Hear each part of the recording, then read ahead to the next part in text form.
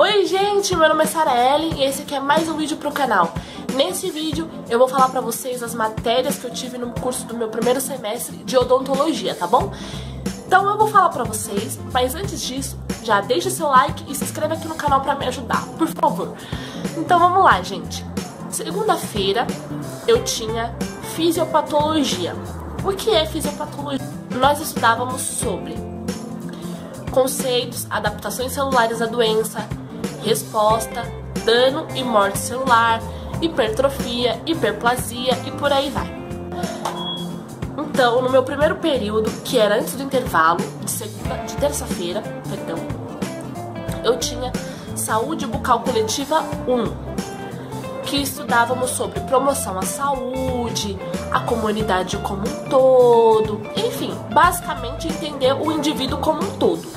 Ainda na terça-feira, no segundo período, depois do intervalo, nós tínhamos Anatomia Dental 1, que é o estudo sobre a nomenclatura dos dentes, como é cada o nome de cada dente, o número, é, quando a, ele, tá, a posição do dente está de um jeito, é um nome, quando está de um outro jeito, a visão já muda, é outro nome. Enfim, conceitos gerais de anatomia dental 1. Na quinta-feira nós tínhamos bases de biomateriais odontológicos. Funcionava da seguinte maneira: uma quinta-feira era estudo nas salas, estudava os conceitos gerais, e na outra quinta-feira nós íamos para o laboratório.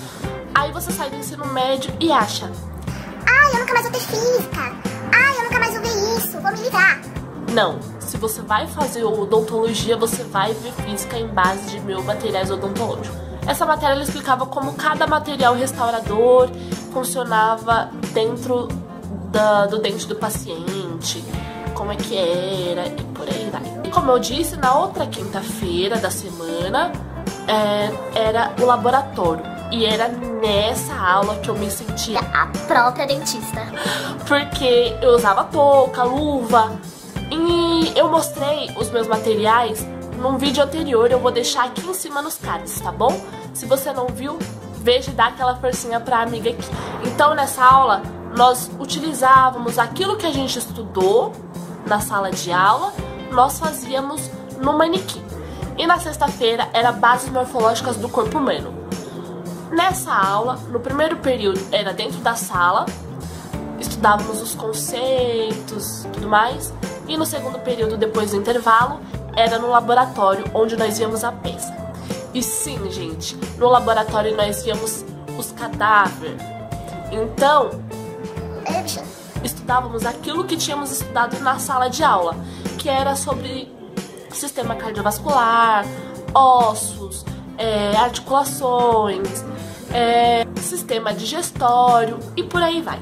Então, pessoal, era basicamente isso. E no sábado nós temos Humanização em Saúde, que é um EAD que a minha faculdade tem. Só que ninguém entrava certinho para fazer no sábado.